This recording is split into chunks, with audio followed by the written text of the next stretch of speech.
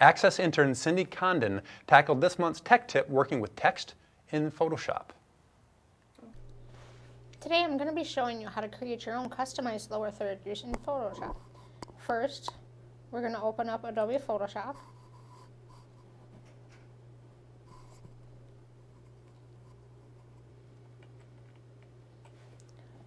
We're going to go up to File, New, and then we're going to name our project Lower 3. Then we're going to go to Preset and change it to NTSC DV720 by 480. And then we're going to go to down to back background custom uh, contents and then click transparent.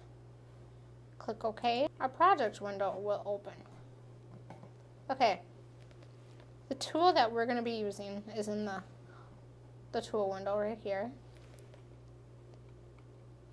And it's called, it's located right here, the rectangular marquee tool. And we're going to be using that to create our lower third. We're going to drag it down I like to go outside the blue lines, which are our save lines. I'm going to create a shape. Going outside of them just a little bit. And then to make it customized, we're going to fill in this area using the gradient tool, which is located in the tool window right here. And then we're going to click up here. The gradient editor window pops up. Um, you can create your own gradient colors, schemes. Maybe you have a show color, a color for your show.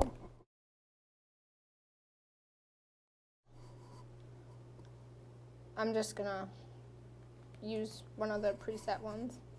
So I'm grabbing this one right here at the end, clicking OK, and then start from here drag the mouse through it, and then we filled in our selected area. We're going to go up to select, deselect, and you notice the, the black dotted lines went away. So we're done creating the background where our text will be laying on top.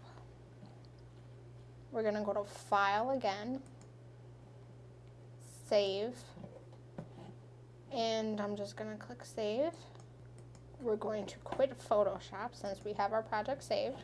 The next thing we're going to do is we're going to open up Final Cut Express.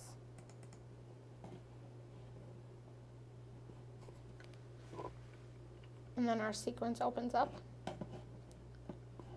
And in order to bring in the lower third that we just created, we're going to go under File, Import,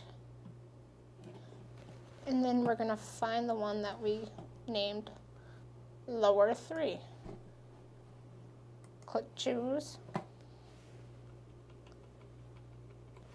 And lower 3 will be highlighted in our bin. Okay, we're going to drag the file that we just created in Photoshop onto our timeline. It's going to show up at the beginning. We got to render our project so we can see what it looks like with the video. Let's play what we have so far. Now, it looks like it's up a little too high and I know it, and it's lasting a little too long.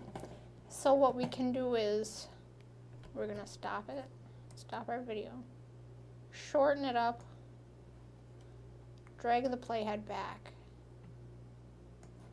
play it, and then we're going to want to add some text. We're going to create our own text to put on top of our gradient. And I'm sure you all know how to do that, so we're going to go to text. click text again. Then we're going to go up to controls. And we're just, for this time, we're just going to type in all things access.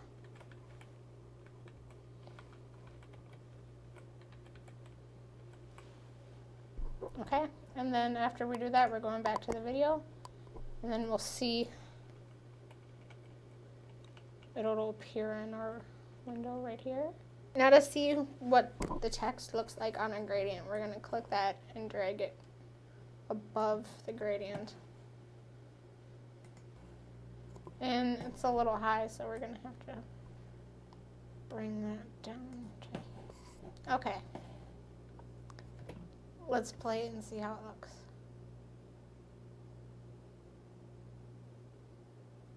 Okay, our text is um, too long. So, shorten. When you do text in your lower third, your lower third is here and your text is here. You're going to want to make sure they're the same length. And then we're just going to add dissolve to it right there. It'll look a little better. And at the end.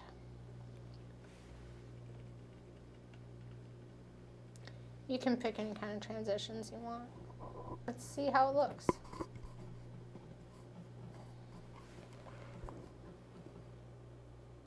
Looks pretty good. Well, that's your tech tip.